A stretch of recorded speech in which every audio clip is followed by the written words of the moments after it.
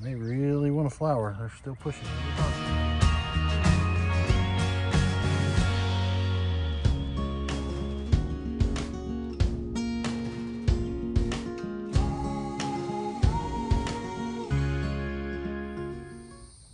Osiyo, everybody. Out here, hoping we'll get some rain from some of these clouds. Just out here walking the gardens and stuff while the animals are getting watered. Just wanted to see how everything was growing. I like to walk the gardens multiple times just to make sure everything's good. We got our uh, dwarf Cavendishes shooting out some pups there. I'll get this banana circle really taken off. I just wanted to show off this little uh, squash plant. Elliot, my grandson, actually planted it last year over there and it took a year to sprout. But I transplanted it over here because the baby pigs were born in that pen. And so we didn't have room for it. But I just wanted everybody to see. Elliot's little squash is doing great. We will be picking off of this soon. It's looking excellent. I'm just super, super pleased with it. Just very happy. I just saw a cabbage moth. Go away, cabbage moth. But I planted it some friends, so we've got other squash seeds just popping up over here. So there'll be more. Corn I got in the uh, banana circle and the corn out here in the little patch are doing excellent. Not all the sugar cane come up, but we do have a decent little bit of cane sprouting. Not as much as I was expecting, but we'll take it. We can propagate from this, make more. Curious, I've never really grown it before. Looks like these bananas are just doing excellent. Really taking off. So this banana circle is going to be jamming. Sweet potatoes. These are just our regular old orange sweet potatoes. They're finally vining out. I'm to get them to take over this whole little bed right here. We're to have plenty of sweet potatoes. The small ornamental sunflowers, they're already starting to put on their blossoms. Come down here and check on these others. She can't really see, but this is waist high on me. So these are actually looking really good. Now these were some kind of American giants. I find it odd that they're only like four foot tall when they first start blooming. But we'll see. I don't know nothing about sunflowers. These are some more of the ornamentals. Just different variable colors. These are supposed to be mammoths back here. Oh, that's interesting. Never really grown a bunch of sunflowers before. This one's actually grown multiple blooms. I'm excited, curious to see them open up. My Tithonia diversiflora, my Mexican tree sunflower over here, it's doing great. I need to take and see if I can get it to give me some uh, stems so I can propagate for cuttings. Looks like I finally have some over here.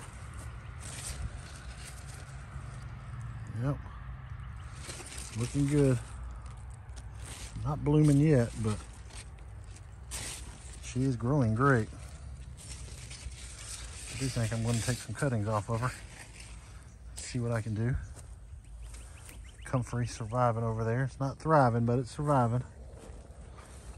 Elderberries starting to ripen already. We're to have tons of them this year. And look at that. Yep. I was kind of hoping for some rain, but don't think so. Sure could have used some. But I'm not doing a huge video today. I just saw those uh, that squash plant and I wanted to brag on Elliot's little squash plant. I think he's going to get a kick out of that when he comes back. At least I hope he is. Comfrey is uh, coming up really well all the way down. So we'll have plenty of comfrey out here. Starting to get some flowers on these uh, cushaw squash. They're starting to vine out. I want them to take over this whole area. Look really good. I got to get some runners for those tomatoes. Them trellised up, caged up. It's an interesting looking plant. have to take me a picture, and figure out what that is. Huh, kind of neat. Potatoes are doing so-so. I'm not super impressed with the growth on these plants, but hopefully it's underground what counts. We'll see what's happening. They're starting to fall over. The grass is starting to grow in here. I really need to weed between the rows. They really want a flower. They're still pushing really hard for that. But this is a happy little garden. I'm excited for all the growth we've got in it.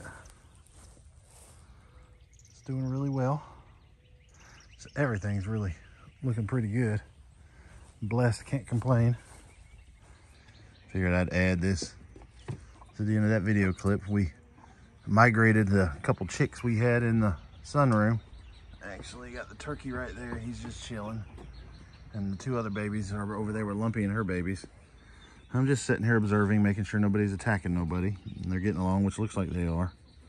And old uh, Patches has come up to pester me. And then we got a little black and white one. It's one of the twins of Zoe's. She's actually being really slick and intelligent in here.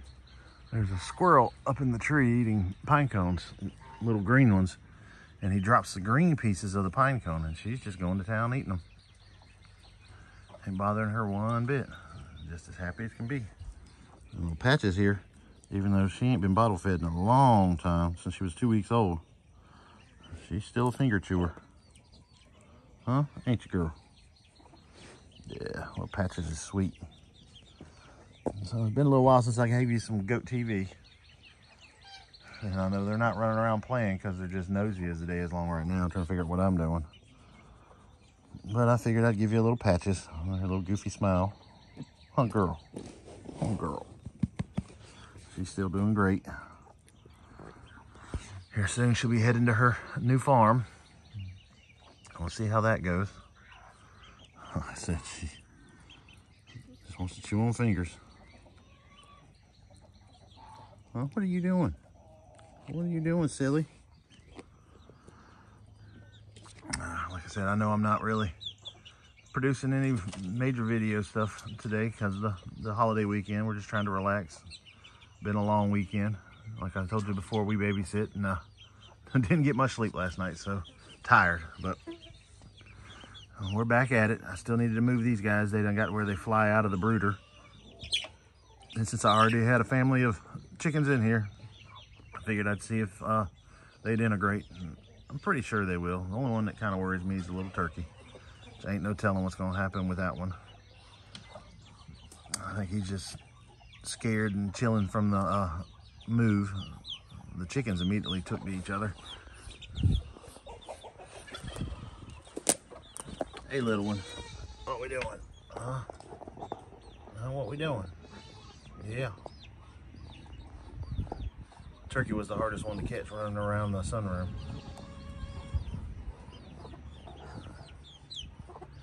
But all in all, he's healthy. He just don't know what to think of all this new chaos because his entire life's been in the sunroom. I hope it's a her, but probably a him. Way our luck goes with turkeys. There he goes. He's up, looking around. Hopefully he'll integrate it in there with them. Too much confusion.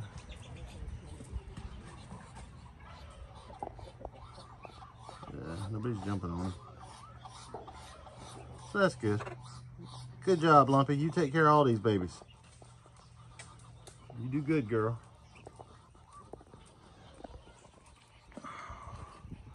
So we've got a broody hen sitting on some eggs right there. And inside the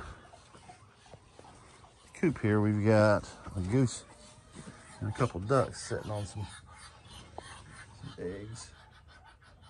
Yeah, we can't get the one in the picture. That looks like the goose has done switched positions. I gotta go in there and check that. Not sure what that is. Let's go figure it out. All right, let's see. Yeah, she's moved nest. That's very disappointing with you. There was a mama duck sitting on that nest and you had eggs over there. Somebody's done been in your nest. Huh? You're gonna defend against me? Why don't you defend against whoever's raiding your nest? Gracious girl. That's pitiful. Huh? You know, stole somebody else's nest. Pitiful. I had to clean that up. Yes, buddy. What are you doing, Odin? Hey, Spot. First time I've ever heard you talk like that. Why are you chewing on my shirt? Well, Guess I need to figure out what's going on with this stuff. Reckon I'll talk with y'all later. Hope y'all have a good one. Wado for watching.